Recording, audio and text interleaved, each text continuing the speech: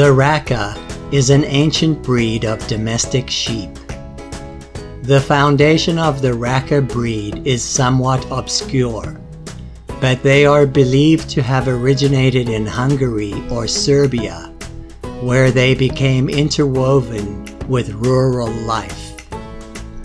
According to some historians, Racka sheep have been part of Hungarian agriculture since the 9th century.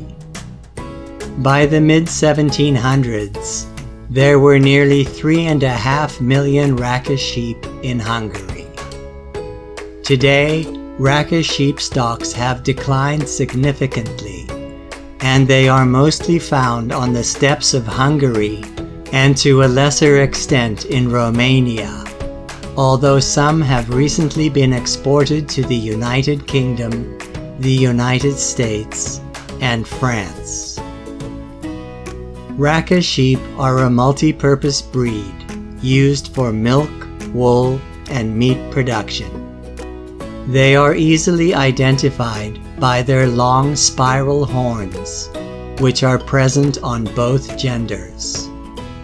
The corkscrew horns protrude almost straight upward from the top of the head in a V shape and can be up to 2 feet long.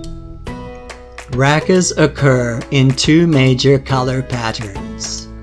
The most common having brown hair covering the head and legs, with the fleece varying in color from dark brown to light brown and white.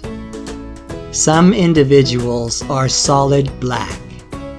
The wool tips on these black animals fades to a reddish black with exposure to sunlight and with age, the points of the fleece will turn gray.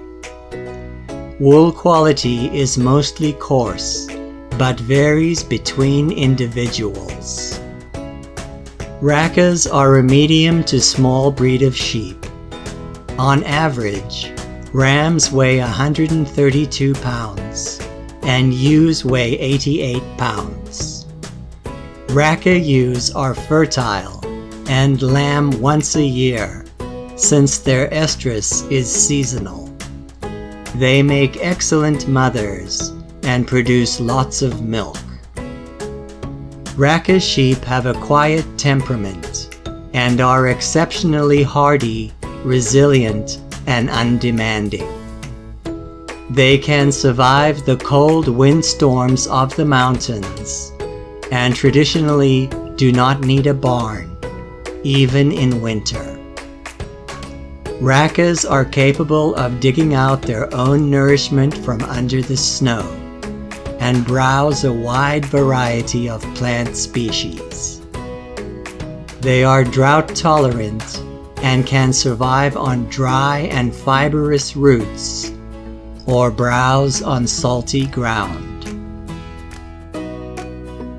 If you enjoyed this video, Please subscribe, like, and share.